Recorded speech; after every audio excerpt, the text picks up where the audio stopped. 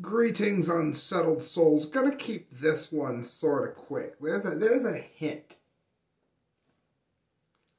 Now, before I begin this, let me say that this not only was going to win the Dunce Cap of the Month award, but I was strongly, strongly going to ask people to make sure that this won the Golden Dumbdee, the Dunce Cap of the Year.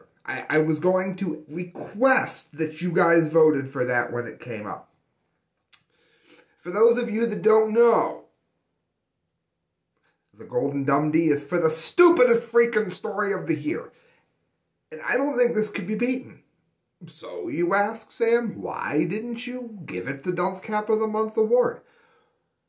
Because I don't know who this idiot is or where this idiot lives. Now, I could probably track him down, and if somebody does so legally, using the internet, social media, respectfully, I don't want anything bad to happen to the person. It's not that bad, it's just that dumb.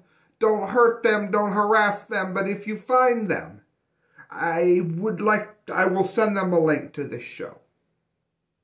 That's how dumb this is. I couldn't make it the winner because they can't get mailed something if I don't know where they are. But this is the kind of thing, and I noticed this when I was a kid. My, my dad used to use the phrase, the average man walking down the street.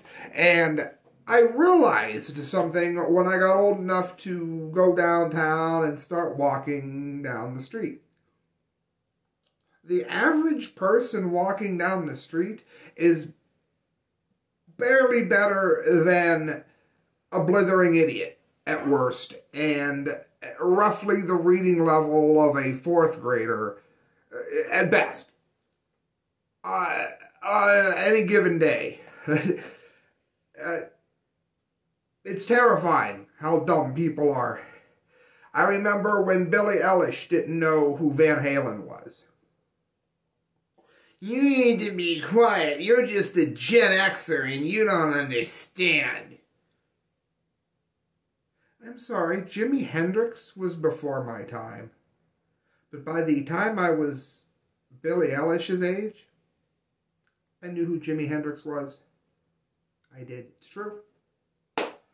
Glenn Miller made swing music in the 20s, 30s, and 40s. I'm not that old. You know what? I knew who Glenn Miller was because I knew something about music, you twit! This is even dumber than that, but it does it, it does include Van Halen. Alright, are you guys ready for this? This is from Ultimate Classic Rock. Wolfgang, he's commenting here on using Van Halen. The last time I checked, it was my effing name!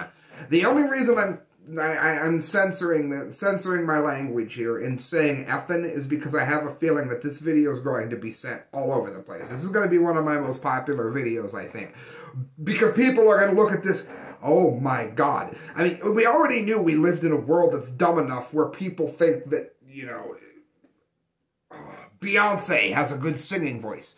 We live in a world where people think that, uh, you know, Ju uh, Justin Timberlake is the epitome of pop culture wisdom. Great talent. I know, I know the world's dumb, but Wolfgang Van Halen, son of guitar great, in case you don't know who he is, uh, Eddie Van Halen, who died, mouth cancer, still can't catch a break from social media trolls. His band is called Mammoth the Mammoth Van Halen, WWVH band leader, Wolfgang Van Halen, who released his debut album in June and recently completed a massive U.S. tour opening for Guns N' Roses, is no stranger to sparring online with Van Halen fans who want him to play songs from his late father Eddie Van Halen in concert. Keep in mind, he's not now in Van Halen. He has his own project. Now, should I... I do think it's weird he does none. But that's neither here nor there. I thought it was weird when I saw the Dead Daisies and uh, Corabi did nothing from Motley Crue. But then again, they've got members of Thin Lizzy, they've got members of Whitesnake, they've got members of Guns N' Roses. So if they're not, you know, if everybody picked a song, they couldn't. So I, I get it. They wouldn't be any Dead Daisy songs. But I do think it's weird that Wolfgang doesn't. But I see why. He wants to make it on his own. Despite repeatedly explaining why he refuses to do so, Wolfgang once again found himself swatting away members of the peanut gallery. The scuffle began when one Twitter user, oh god, I wish I knew who, asked the Wolfgang in a now deleted tweet, why after all of your resistance against Van Halen fans did you decide to add WVH to your band name? Honest question. Wolfgang kindly supplied the obvious answer, the last I checked, it was my freaking name. He didn't say freaking. The multi-instrumentalist further aired his frustrations, and he goes on to say that uh, he's not going to be playing Van Halen songs. But somebody asked Wolfgang Van Halen why he's using the name and initials of Van Halen in a project that Wolfgang Van Halen began, founded, and tours with. That's how dumb the average person is. That's how dumb. Do you feel it? That's how dumb.